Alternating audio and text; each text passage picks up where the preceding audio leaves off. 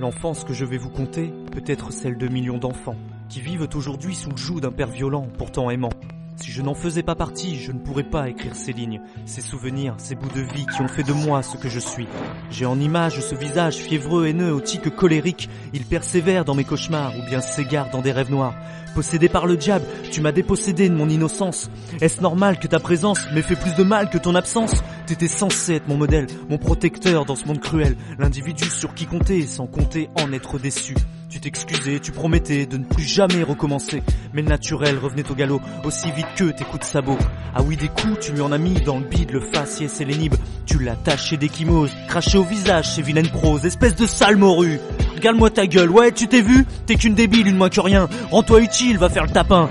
Tu l'as humilié devant ses enfants, devant des passants décontenancés, incapable de la protéger, de tes brimades, de tes excès. Je n'ai moi-même pas pu calmer tes ardeurs incongrues, ou bien bousiller tes mains nues, coupable d'agression malvenue.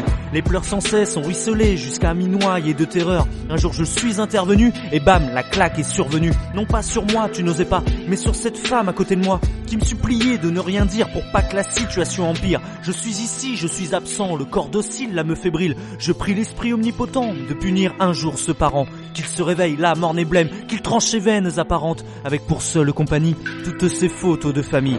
Donner la mort est moins facile que de frapper fort dans un petit corps. Tu jouais toujours à domicile, avec pour public tes trois fils. Trois gosses tétanisés par l'effroi des cris de ta proie. Des bruits d'impact sur son minois. Le calvaire pouvait persister des heures, des jours, des semaines entières. Partir d'un ourlet un peu mal fait sur l'un de tes futales préférés. Un pas trop froid, un soir cafard, un pas trop chaud qui te brûlait la peau, ou un baiser qu'elle posait sur ma joue mais qui te rendait fou de jalousie. Personne ne pouvait nous approcher lorsque tu l'avais décidé.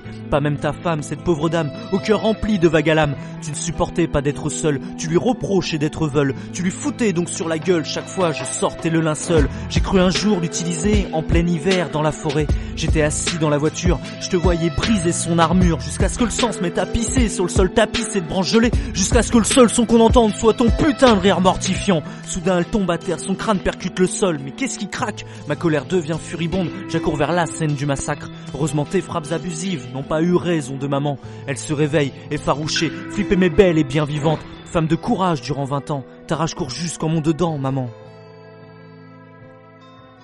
Homme de lâcheté depuis longtemps, mon père tu ne resteras qu'un perdant.